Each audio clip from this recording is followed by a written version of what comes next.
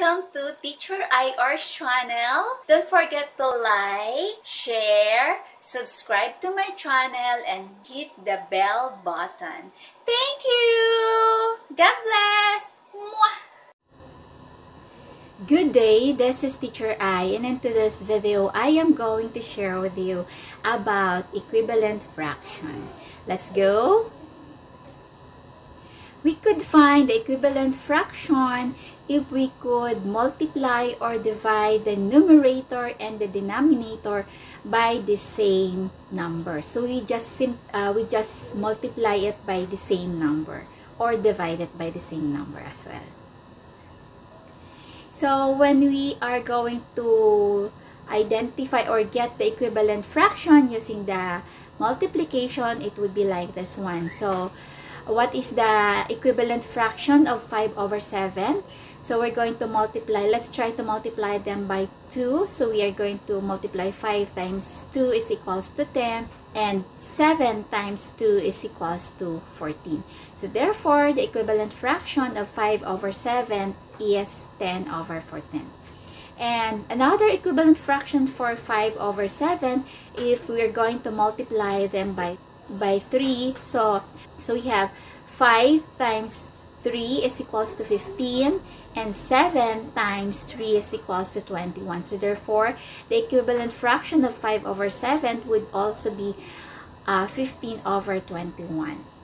Another one, so the equivalent fraction here are 5 over 7, 10 over 14, and 15 over 21. So they are equivalent fraction using the multiplication.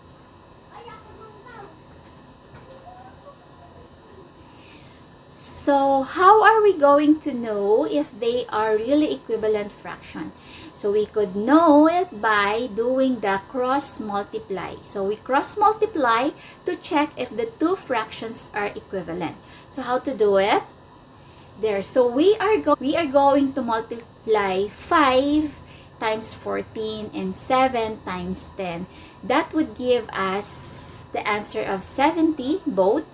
And we also have 10 times 21 and 14 times 15 that will give us uh, 210.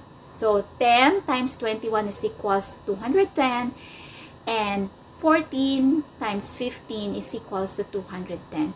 So since they have the same product, okay? The product of them is the same 70 and 70 210 and 210 so they are equal fraction. So let's try to have this equivalent fraction using division. So we're going to divide equally with the same number. So we have the 3 sixths is we're going to divide them by 3 so 3 divided by 3 is equals to 1 and 6 divided by 3 is equals to 2. We also have there, so the answer is 1 half. And we also have there 4 over 8 divided by 2 is equals to 2 and 8 divided by 2 is equals to 4. So the 4 8 is equals to 2 over 4. So, they are equivalent fraction. So, the 3 6 and the 2 4 so the 3 6 and 2 4 are, are equivalent and also the 1 half. Why 1 half is also equivalent? Because if we are going to divide the 2 4 into 2, 2 divided by 2 is equals to 1 and 4 divided by 2 is equals to 2. So they have the same 1 half.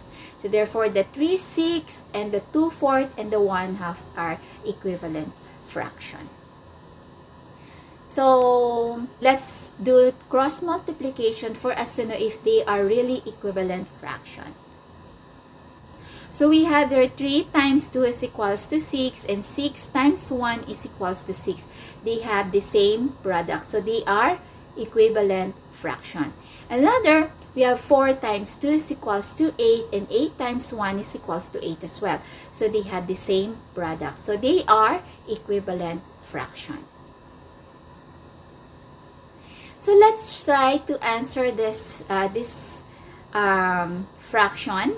Have some drill, multiply or divide to get the equivalent fraction of each of the following. So I already put there the numbers to so for the 5 over 7, we're going to multiply them for 3. The 1 half, we're, go we're going to multiply them for 4. The, for the 5 15th, we're going to divide them by 5 as well. For the 12 over 18, we're going to divide them by 6. So, uh, please get some paper and try to answer.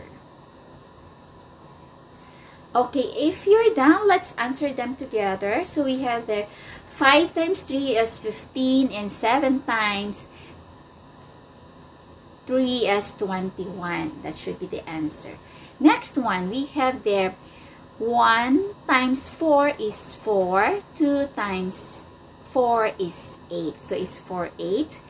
And um, we also have there the 5 divided by 5 is 1 and 15 divided by 5 is 3. So the 5 over 15 when the equivalent fraction of is 1 third. The number 4 we have 12 over 18. So 12 divided by 6 is 2. 18 divided by 6 is 3. So therefore the equivalent fraction so so therefore, the equivalent fraction of 5 over 7 is 15 over 21. The equivalent fraction of 1 half is 4, 4 over 8. The equivalent fraction of 5, 5 over 15 is 1 third. And the equivalent fraction of 12 over 18 is 2 third. I do hope you learned from this lesson of mine about equivalent fraction. This is teacher saying thank you for watching and please subscribe to my channel there, Teacher IR. And God bless everyone and kids, don't forget to pray. Always follow and um, always obey and honor your parents and always study well. God bless and until then, bye-bye!